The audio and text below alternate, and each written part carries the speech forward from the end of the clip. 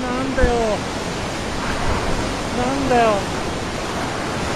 10m あるじゃんかよ。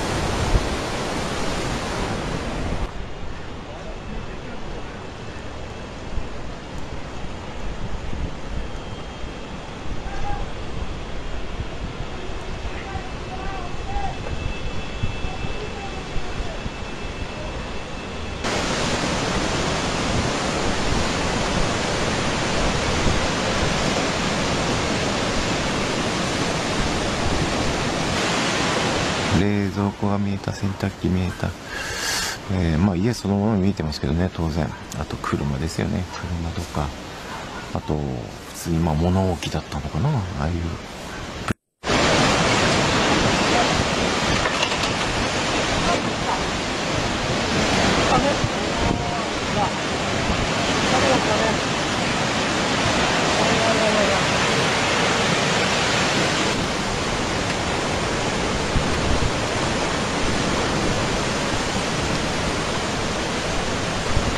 暴れる力っていうか人間の想像を超えてるというか。ブリキのものがガチャガチャガチャってなんかすごい勢いでね潰れていく様とか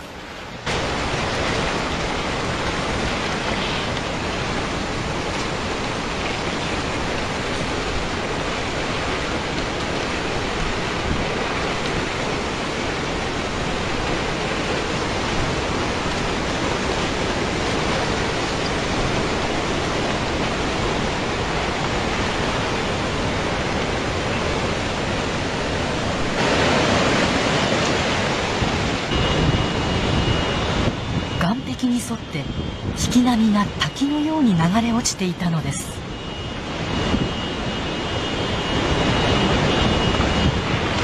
時速36キロ。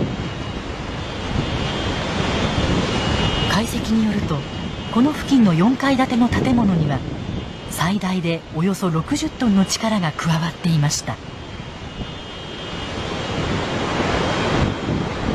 ナイアガラの滝じゃないですけどね。ずーっともう一面この湾ですよね。こうして。岸壁の高さは6メートル。